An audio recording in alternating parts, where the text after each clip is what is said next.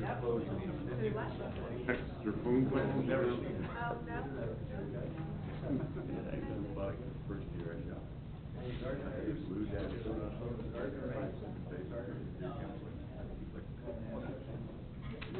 Go out again. I bet Indians run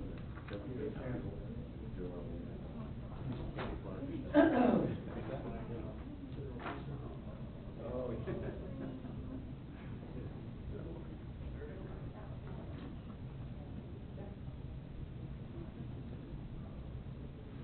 You all good to go, Dan? I'm good wherever you are.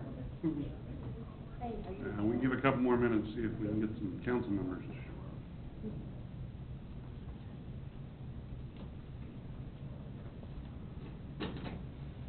And actually, I was, I was waiting for you to say you were born ready. Try to vary my responses to that question. Sounds like you don't need an introduction from me. You can just go right into it. Okay. That's okay.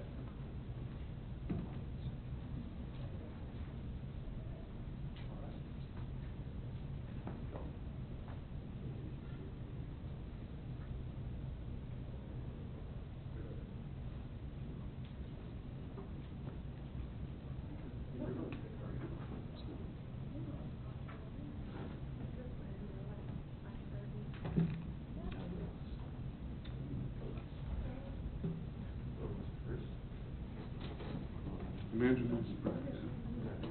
Five thirty.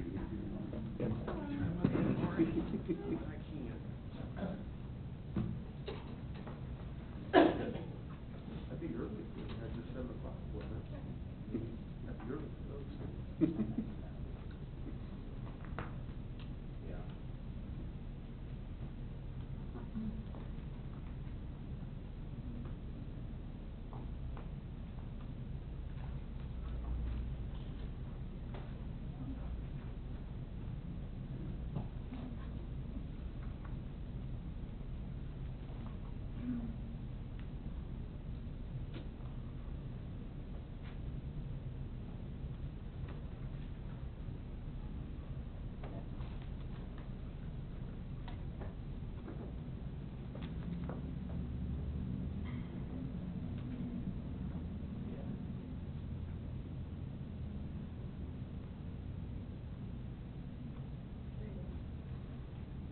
And I started sending him texts.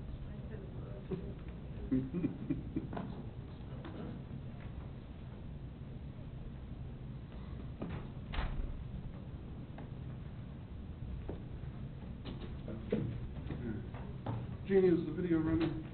Okay. You were up here clowning around too. Okay, we've got everyone here, so we'll go ahead and get the work session started. Uh, We've got one work session item, and that is to discuss the draft of the comprehensive plan. We've got our, our uh, friend Dan Gardner from Houseal Lavigne here to uh, present. So, Dan, welcome. Thank you. Good to see you again. Likewise. It's always a pleasure to be back in my namesake town. Uh, uh, You want me to just launch in, or we gotta? Absolutely. Okay. Uh, Good evening, everybody. Uh, The meeting tonight really is, as it's called, is a work session. It's really to just go through kind of the, the elements of the plan. Uh, You're not expected to have digested this and to give us feedback or take action tonight. There's time for that. You can come back, digest it a little more, look at it, read it, uh, and then get back uh, through Mike and Cheryl on some other comments that you might have or some things that you want to discuss. But it's really to give you, afford you the opportunity to understand, you know, the, the process, because it's been a long, it's been about I think it was almost exactly a year ago that I was standing up here.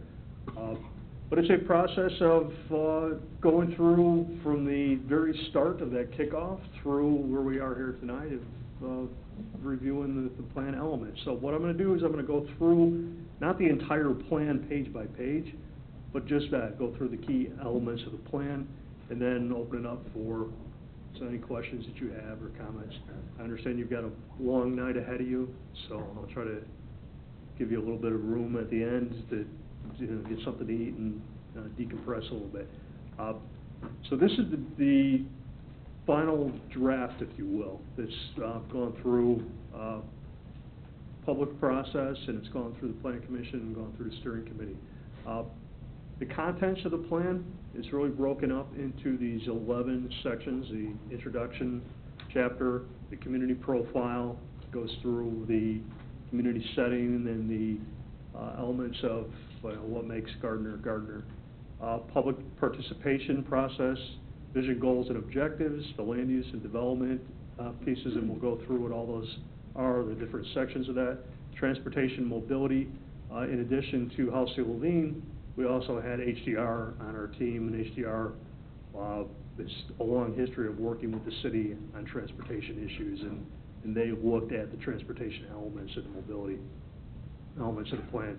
Uh, community facilities and services, excuse me, parks and open space, image and identity, sustainability framework, and the implementation piece. Uh, First, the introduction is just somewhat self-explanatory. It's just, it's introducing, you know, what is the plan? Keeping in mind, one of the things that's important, some of these things may seem mundane or road or like, hey, we already knew that, but a comprehensive plan is designed to be appealing to a wide range of audiences, some of which have no idea where Gardner is, some that won't even be thinking about it for a couple years or several years out, and then others of trying to get a better context. It could be a developer looking for investment opportunities, it could be somebody thinking about moving here, uh, from a residential standpoint, It could be somebody thinking about relocating a business to Gardner. Uh, it has to be able to tell a story to anybody who is picking up the plan. Uh, too often, I think old plans just were a lot of text and maybe a map stuck in the back and really didn't tell a story or really, weren't really designed to be user-friendly, uh, if you will. I don't like that term, but it just, that's exactly what the plan needs to be, is it needs to be appealing and, and available and easy to use for uh, several different audiences. So by putting in the introduction and the community profile, uh, laying the line, the lines of where is the city in the context of the competitive region? Uh, what are the demographics? What are some of the trends? What are the key businesses? Those things are always at the front end of the, of the plan.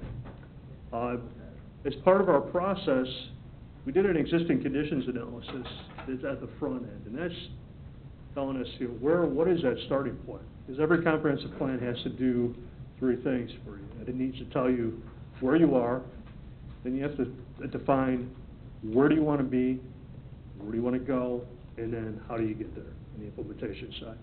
So this first section is looking at all the past planning efforts and recognize a lot of time and effort was put in by a lot of people over years. Some of the information may be outdated, some needed to be revised, some of the studies were, came to fruition and were already done. Uh, but you need to know what those efforts are. So going through all the relevant plans and studies, having an influence on the city going forward. That's a part of the existing conditions analysis that is done on the front end. Uh, looking at the existing land use, and where, where that started, what is the starting point, the different types of uses. Uh, looking at the existing transportation network. Uh, then, as I said, looking at those kind of key socioeconomic data and demographic profiles that of define what the city is and what the trends are. You know, clearly, there was a lot of growth, um, you know, 10, 20 years ago, but now, you know, that's, or 15 years ago, that's certainly slow, but what are the projections? What is the county looking at in terms of projections? All that goes into that existing conditions analysis. Uh, the public participation process, you, you don't do a plan to people, you plan with people. The public participation process was a key part of that, uh, planning with the community. Uh, It was a transparent process, it was an open process, it was very involved. We had community meetings, we had key person interviews, we had the- steering committee, as I said, a twenty-plus member steering committee, uh, that vetted things as we went through. Uh, and then we also had, uh, project website set up. uh, that was active throughout the entire process. Uh, We're, thought it was important to keep the website up so that people continually had input and still could pull up documents and read things as the process went along. One of the things on the website was a mapping tool. People were allowed to make their own maps, putting in key data points. So this is just what you're looking at here is a graphic of data points that were put on by members of the community that were uh, utilizing the mapping tool. You know, issues, concerns, assets, things that people would like to see addressed. This was augmenting the questionnaires that were online and all the other public outreach that was uh, conducted. So some more of the maps I'm looking at, were public safety concerns to uh, poor parents, to, as I said, some of the things that people would like to see in terms of uses. Uh, Then created the vision goals and objectives. If anybody recalls, we had a visioning workshop where people marked up maps, and we had tables in here, and we had tables out in the lobby, and uh, public came out and was sat at tables and they did their own planning on, on the base maps that were put on the tables. Uh, that was a great way to get people involved in the process, get people excited, and some great ideas came out of that. Uh, then we also started to craft that vision statement of what, what is the city going to look like 15, 20 years out? You know, what are people's ideas of, you know, the Gardner of the future? Uh, in creating that vision statement, in the year 2035, Gardner will be. And we went through several different scenarios of what people want to see for the future of the city. Uh, Crafted goals and objectives for each of the key areas, goals being those kind of bigger things, and then the objectives of being those more obtainable things of, of how we get, reach the goals, from neighborhoods and housing, to commercial areas, to all the different sections of the plan. Uh, then next, to the land use and development plan. Now we've, we've gotten into the planning side of things. Once we've formulated the existing conditions, went through the visioning workshops and all the, uh, outreach on the front end and getting the community input, we started creating the land use and development plan.